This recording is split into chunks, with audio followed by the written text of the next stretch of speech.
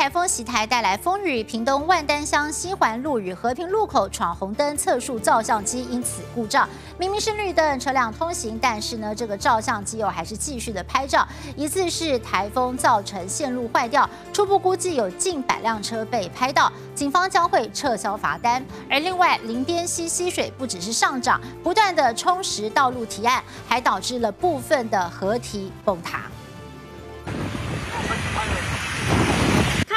闪呀闪！这台闯红灯测速照相机猫起来狂拍，但前方明明是绿灯。大家看一下，绿灯哦，一张。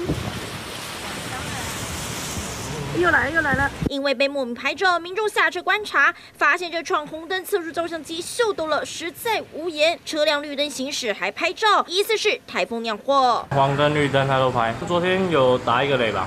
有打到，这边的红绿灯都先跳掉，是跳成闪黄灯。然后后来又好了之后就开始狂拍了。被罚款的话，那我会拿去监理所申诉。这场红灯测速照相机就位在屏东万南乡西环路与和平路口，从三十一号下午三点多开始故障，导致近百辆车被拍照。经查系风雨关系导致耗制讯号功能传送到测速固定杆的机器故障。经检视该段异常期间所拍摄的车辆有九十四辆。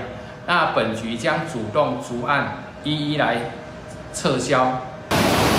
另外，这种转到林边溪，滚滚的泥流不断被冲刷下来，导致部分河堤崩落，冲毁面积长约二十公尺，宽七公尺，先波及到一旁二峰圳净水塔。二峰圳浮流水设施在本次。台风期间并未受到直接的损坏。相关单位紧急在景点的路口拉起封锁线，避免人车闯入发生危险。这说是为在屏东的采访报道。